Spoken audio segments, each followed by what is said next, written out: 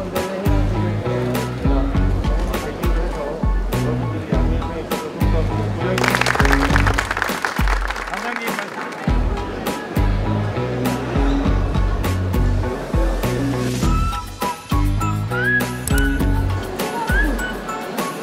미국에서 핸드폰이 없어가지고 트레이너 쌤 방에서 애들이랑 다 같이 모여서 봤는데 앞에서도 애들이 많이 지명돼가지고 좀 정신을 못 차리고 있다가 이름을 들었거든요. 이름 불리자마자 애들이랑 막 껴안고 울었습니다.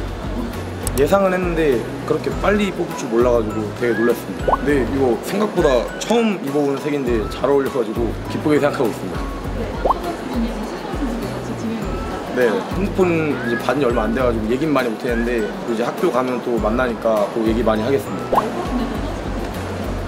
아니요, 히어로제는 한 분도 안 계셔서 잘 몰랐는데 경남고 노은현 선배님 이분은 인사도 아직 하, 하지 않았는데 알기만 하는 사이.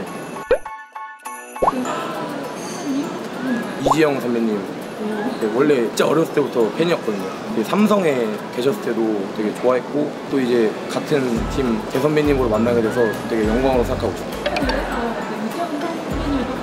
아, 네 들었어요.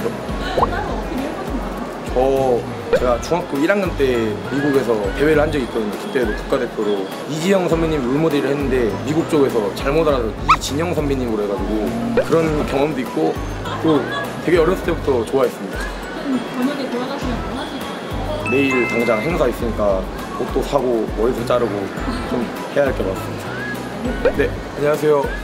이번에 키움 히어로즈 2라운드 지명된 충암고 포수 김동헌입니다. 히어로즈 군단에 빠르게 입단하게 돼서 되게 영광으로 생각하고 더 열심히 제가 노력해서 팬분들한테 일찍 모습 보이고 팀에서 없어서는 안 될 선수 되도록 열심히 노력하겠습니다. 감사합니다.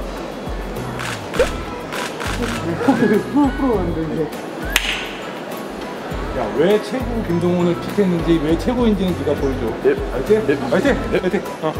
너무 감사합니다. 좋은 분들 잘 길러주셔서. 감사합니다. 네, 뽑아주셔서 감사합니다. 하고 싶은 내일 행사 예. 끝날 것 같아가지고. 예, 뭐 원래 가서 할 일도 많네요. 네, 그러니까, 예, 내일 또 예, 늘 뵙겠습니다. 뵙겠습니다. 예, 감사합니다. 네, 들어가십시오. 감사합니다. 안녕하세요.